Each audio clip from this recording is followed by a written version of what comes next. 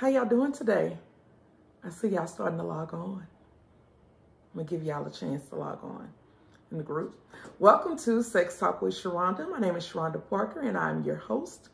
And today's topic is, are you running him away, sis? Are you working that man nerves, sis?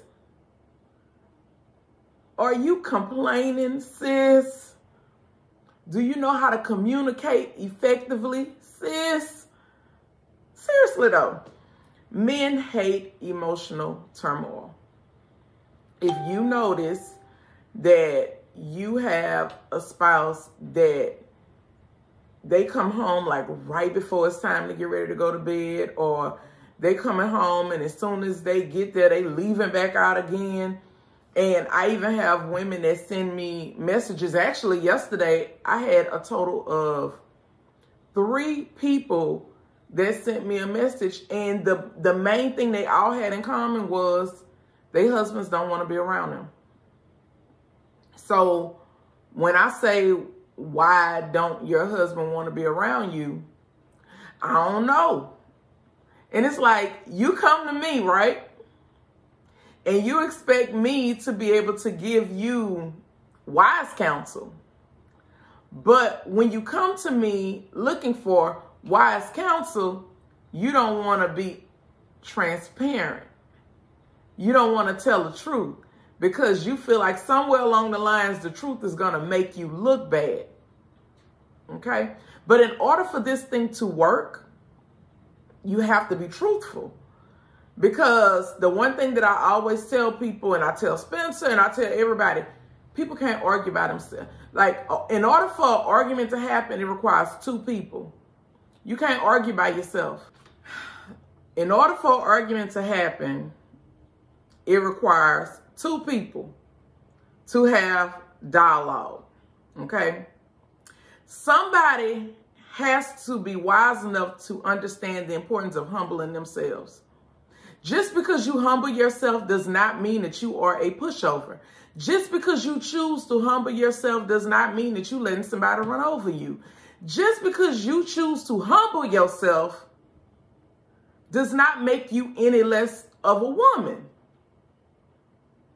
Sometimes somebody got to be wise enough to say, you know what, we'll revisit this later. We'll revisit it.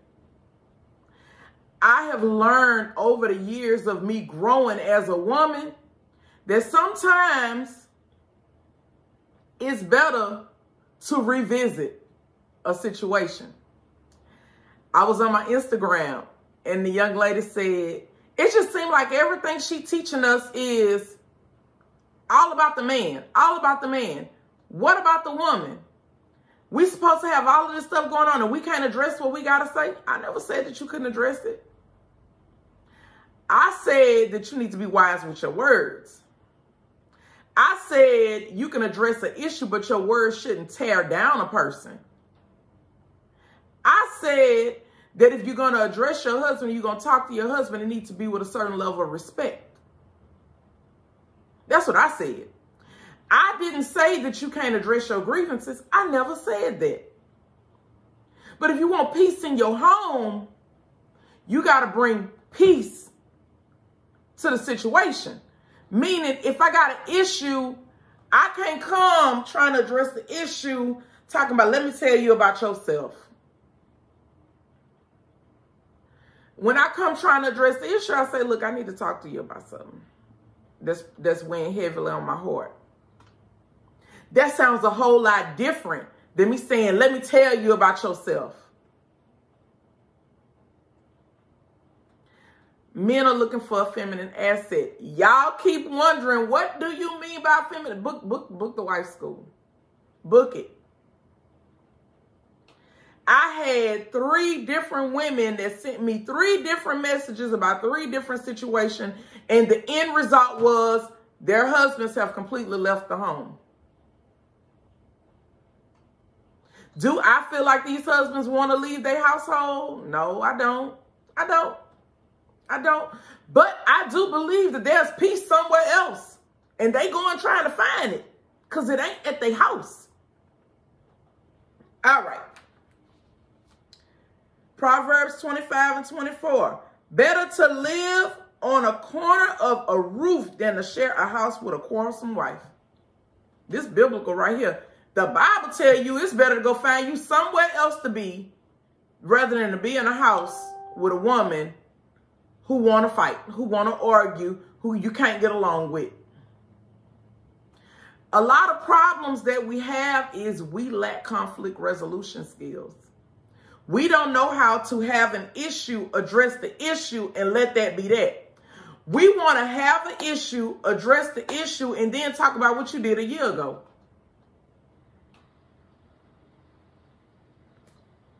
We want to have an issue, address that issue and everything else that we didn't let pile up instead of nipping certain things in the bud a long time ago. That is not how you address issues. The right way to address the issue is understand what your issue is and address that. But a lot of people can't do that. A lot of people can't address exactly what the issue is and do it in love and then come with a solution and move on with the rest of their day.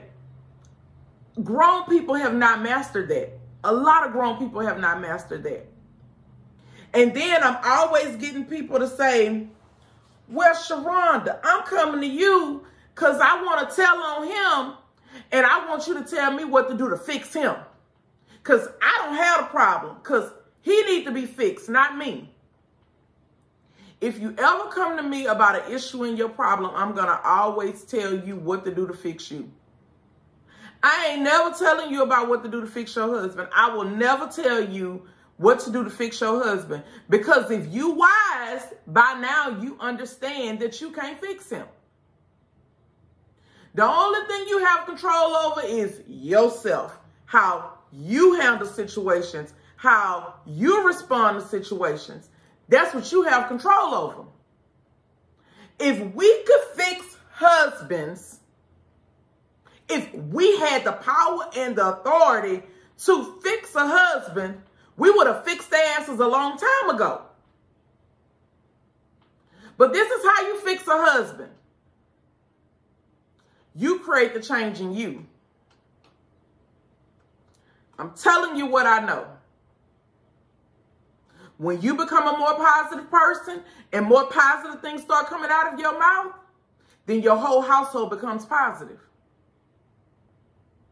If we had the power to fix husbands, we would have fixed them a long time ago. So what we do is we do the work within ourselves. We make certain changes within ourselves about how we're going to respond to situations. And then what happens is we watch the change happen within our husbands. Because what happens is when you have an issue and you say, sweetheart, I need to talk to you. I have something that's, that's laying real heavy on my heart right now and let me talk to you. And you say, look, baby, this is my issue. This, this, this, and this. What can we do? What, what solutions can we come up with? How can we fix these things that I have an issue with? And then your husband says that these are the solutions. Bam, bam, bam, and bam. And you say, know what, th baby, thank you. Thank you for taking this time and talking to me so we can resolve this. I love you. Is there anything you need me to do for you today? Okay. All right. Thank you. And you done with it. That ain't how we, that ain't how we do. That ain't how we do. I know that ain't how we do because I have not always done it like that. Oh, one thing about it, I was Claudette's daughter and I was going to take it there because I ain't about to feel played. And like Carter say, it's up and it's stuck that was me a long time ago. That was me. It was up and it was stuck. But the people that know me today, they know I'll go get a fucking hotel room before I argue with you. And that's the truth. What you mean? Just what I said. I will completely separate myself from the situation before I argue with you. Either we're going to come to a resolution with a solution for the issue and talk like adults, or we just won't talk at all. I completely separate myself from your house. A lot of y'all didn't catch that. That's Spencer House. I keep telling y'all that. That's your husband's house. He, he the man there. He's the king. But what y'all want to do? Oh, no. I'm putting him out. Now he in the streets. And you don't know where he at. See, when you decide to make the decision to separate yourself, you know where you going. You know what you're doing. You know you're just going to cool your head off. But when you send him out in the streets, you don't you you you just lost control of that whole situation. But that's gonna go over a lot of y'all head. I'm just letting you know, ladies, that we have been fed a lie that we can say whatever we genuinely think in our marriage. And if we are unhappy about something, then it's up and it's stuck. Men lose affection for you like that. Meaning that people say, what you mean when you say men lose affection for you? That means that they don't crave to be around you. They don't crave to have you in their presence. They don't crave and desire you. You become more of a nuisance to them than peace to them. And you want to be his peace. Ladies say, oh, Sharonda, you always talking about, about the man, about the man. Yes, I do. Because at the end of the day, what you got to understand is y'all are a team. And if you are in this group, my job is to deal with you as the wife. God ain't never called me to do no husband school. He ain't told me nothing about no husband school. He ain't told me nothing about talking to no husbands. He straight up told me to deal with the wives. So when I start dealing with the wives, the first thing y'all want to say is, but the husbands. He ain't told me to do that. He told me to deal with the wives. And when the wives bring the change into the household, the husbands is going to change. And I know this to be true because I didn't lived it. I know what it means to come and bring a whole nother type of demeanor to the household, a whole nother type of attitude to the household. Because if I got a positive attitude, then positivity got to rest there. But if he negative, I'm negative, this whole household about to be negative. But when he look at you and he see that you ain't on that bullshit, men naturally, they naturally don't want to deal with bullshit. So they not going to be on no bullshit either. It, men and women, we behave completely different. Completely different. I've seen men like let shit roll off their back and be like, ain't nobody worried about this shit. And I've seen women that will hammer that shit and hammer that shit and they ain't letting it go and they ain't letting it die and they gonna keep bringing it back up. We operate differently. So if you come into the household with peace, he gonna be happy about it. And one thing he ain't trying to do is bring confusion if you bring in peace. He gonna eat that shit up. He gonna be like, oh shit, she ain't upset. All right. And it ain't that you ain't upset. It's just that you know how to extend grace and you know how to have conflict resolution skills. Next, moving on. Because I'm, I'm, I'm done with that. But I want to talk about submitting and serving. And there, and I want you to understand that there is nothing demeaning about submitting and serving your husband. For a long time, I never saw women submit and serve because I never really saw a lot of married women. But God graced me to run into older women that were married. And my pastor was one of my first teachers. And I, I, I paid attention to even though she was the person that was up on the microphone giving the um giving the sermons or whatever the teachings at our church, she still knew how to submit to her husband. She still knew how to let her husband be the leader. And I, I, I observed her the way she moved in her household because I was graced to be able to be welcomed into her home and to see how she operated in her household. So I was able to see her in ministry and I was able to see her in her private life. And it was beautiful. To watch her submit and serve her husband was something beautiful to see. And a lot of women, when I talk about submitting and serving, they look at it as something derogatory and demeaning when it's not. It's actually something very beautiful to be able to serve somebody else. See, the one thing that you're going to understand about being a wife is wives are selfless and we are constantly giving. That's all a part of us being wives. So the thing is, if you being a wife and the only thing you could talk about is what somebody doing for you and I, I need him to match my energy and I give what I get and all of this other stuff, you're not going to do well. You're not going to do well. You're to always be upset. You're going to always be pointing the finger. You're to always be keeping tabs about what he doing versus what you doing. You're not going to be happy in marriage. You're just not because you don't have the, the, the right understanding. Another example of serving. God graced me to, to have my husband's great aunt to really be, her and her husband to really be a mentor to us. And I can't remember exactly what was going on, y'all. But I remember, I don't know if it was at a repast or a family function or whatever, but this is the lesson that I was taught. Um, I had washed my hands and I was getting ready to fix food for everybody. I was, you know, it was a bunch of women and we were like washing our hands and we were getting ready to fix food. And Auntie Vanilla told all of us ladies, before y'all feed any of these people, I need y'all to serve your husbands first. I need y'all to feed your husbands and get your husbands taken care of and get them situated before you fix a plate of food for anybody else. Take care of your husband. That stuck with me. That this woman understood certain principles that she was sharing with us younger wives that even if we were at a function or we were there to work and do whatever we was there to do to serve other people, before you do anything for anybody else, you're going to take care of your husband first. You're going to serve him first. You're going to make sure that he's situated first before you start dealing with the public.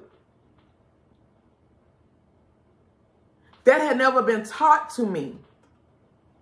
But I took that and I ran with it and I understood the importance of making sure that my husband was situated first before I make sure that anybody else and their husbands were situated. And the thing is, we don't have elders teaching us those type of principles anymore. We don't have that anymore. I wish that I had a Sharonda Parker when I was a very young wife I wish that I had these type of teachings because I wouldn't have had to buy so many cents. So I'm trying to be to a lot of these younger wives what these older women were to me. I'm trying to teach you the beauty in submitting and serving your husband and sucking his dick. If you can suck his dick, you can submit and you can serve. If you can humble yourself enough to get on your knees to put a dick in your mouth, you can submit and serve. You can. So when y'all get to telling me about how, oh no, I ain't, I can't submit, I can't serve. I saw my mama do it, and he treated her like this, and I saw this here, and he did this here. Baby, you can miss me with all that went, all that went way over my head. I ain't, I don't want to hear none of that because see, your mama understood certain principles that you have yet to learn.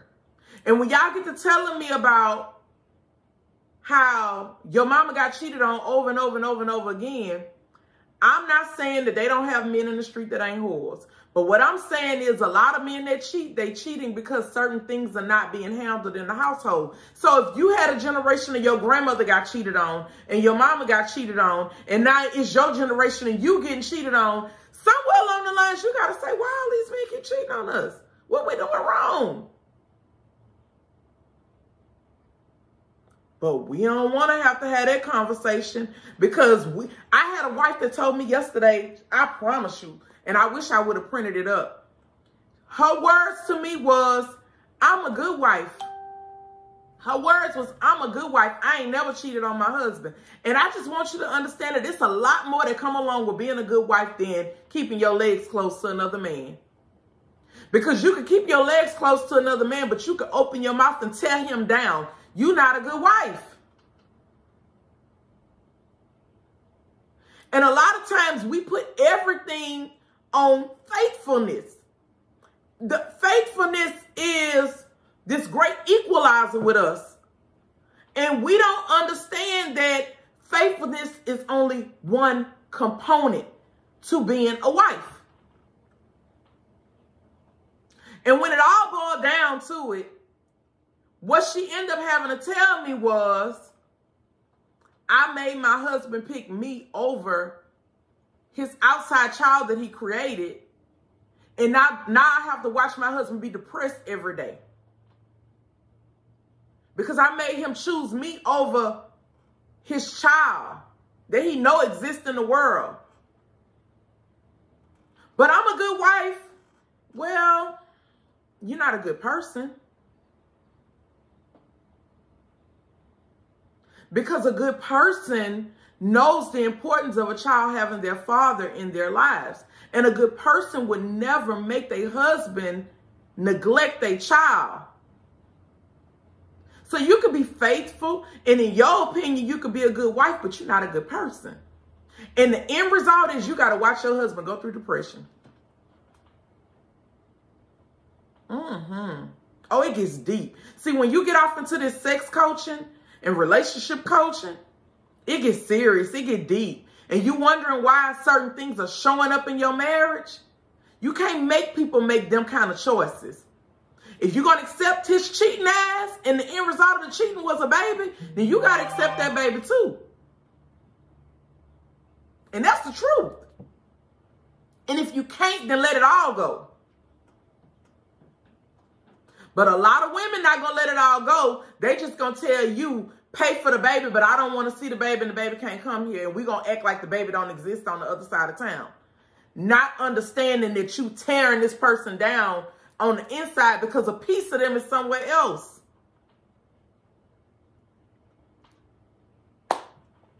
So the end result is you got to watch him be depressed. So now that's just your depressed ass husband that you don't ever see smile, that you can't ever seem to make happy no more.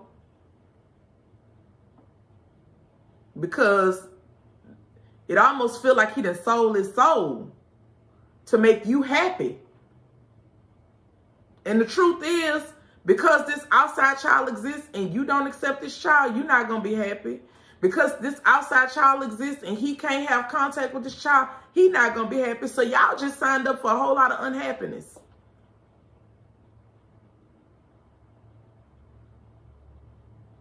Yes. I want to say that's Miss Collins. If you can't deal with it, it's better to let it go. It is. If you know you can't deal with it in the right way, I uh, we I don't and a lot of times women say, oh, she's trying to teach women to be stupid. No, I'm not trying to teach women to be stupid, but I'm trying to teach you to be human. I'm trying to teach you to have compassion. I'm trying to teach you to care about somebody other than yourself. Yeah. And and we've watched older women that came before us that that understood that these outside children needed their daddy too. The same way her children needed their daddy. And she didn't like what happened, but at the same time, she didn't, she didn't deny these children of their father. That's some hateful, hurtful shit. But we've we've come to that. We that's where we are today as a people. So we don't care about nothing but ourselves and our own feelings. And uh we don't want to be out here in these streets looking stupid. But you in your home unhappy. All right. So today's lesson Men hate emotional turmoil. And if you could suck his dick, you could submit and serve. So those are the things that you should take with you today. I hope you enjoyed Sex Talk with Sharonda. The email address, I'm sorry, not the email address. The website is below. My Instagram is below. And if you enjoyed today's lesson, feel free to send a tip. The Cash App is there as well. You all be blessed. You all be safe. You all be warm. The PPG store opens today at 11 a.m. to 9 p.m. Um, I thought um our new masks were gonna come in. So I ordered a whole bunch of masks, and the masks are face coverings, but they have the hole around the mouth for you to be able to suck dick. Mm-hmm. So yes, we having steak and blowjob day this year, COVID style. And I thought the mask, um, I thought the masks were gonna be in so I could show them to you. And another thing that I have this year for steak and blowjob day, which is March 14th, by the way, is the door hangers that says, um, I want to say it says, do not disturb blowjob in progress or something like that. I can't remember, but it's like a do not disturb and it's letting people know that, you know, like, I think it's to be real cute. Like if you get like a lot of Amazon deliveries and all of that kind of stuff, I'm to hang mine on the outside of my door. So when all of my um people come to drop off my packages, they could get them a good laugh because I'm all about the jokes. But it's gonna be like blowjob in progress or something like that. But yeah, it's real, real cute door hangers. Um, and of course, last year I did the blowjob bibs. The whole thing was no child left behind. So that was last year's theme, Okay.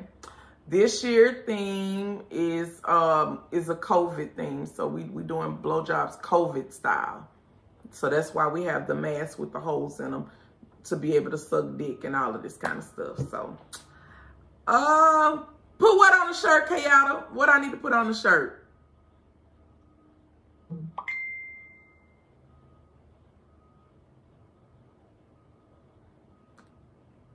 Girl, tell me what I need to put on the shirt.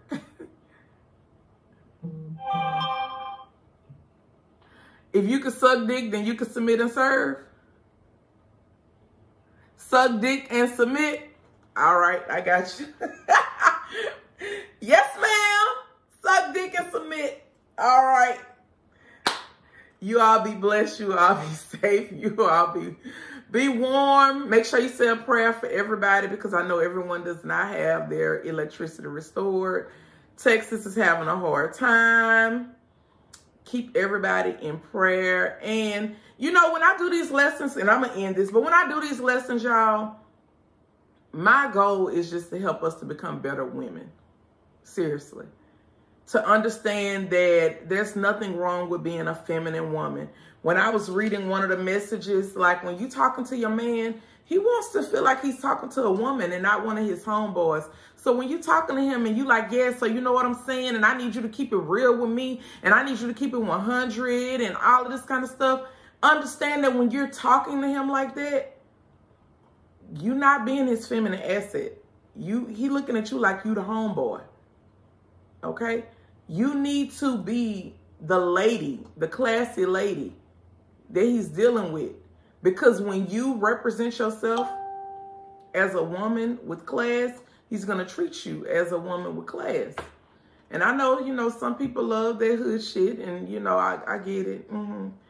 But, you know, I just feel like we're supposed to be elevating and we're supposed to be stepping it up. And we, you know, we're supposed to be doing things differently because we want different results. And in order for us to get different results, we got to do things differently. Okay? So you all be blessed. You all be safe. You all be warm. And I'll talk to y'all later.